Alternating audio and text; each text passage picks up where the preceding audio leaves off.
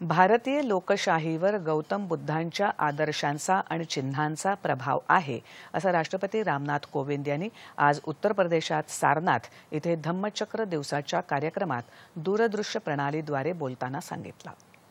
भारताचं राष्ट्रीय प्रतीक सारनाथ इथल्या अशोक स्तंभावरून घेतलं असून त्यावर धम्मचक्र कोरलं आहे.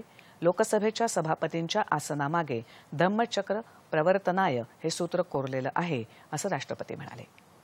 प्राचीन बौद्ध संस्कृतीशी संबंधित अनेक पद्धतींचा अवलंब आपल्या संसदीय लोकशाहीत केल्याचं भारतीय राज्यघटनेचे शिल्पकार डॉक्टर बाबासाहेब आंबेडकर यांनी नमूद केलं आहे असंही राष्ट्रपती म्हणाले. संस्कृती मंत्रालयाच्या सहयोगानं आंतरराष्ट्रीय बुद्धिस्ट महासंघानं आषाढ पौर्णिमा दिवस या कार्यक्रमाचं आयोजन केलं होतं.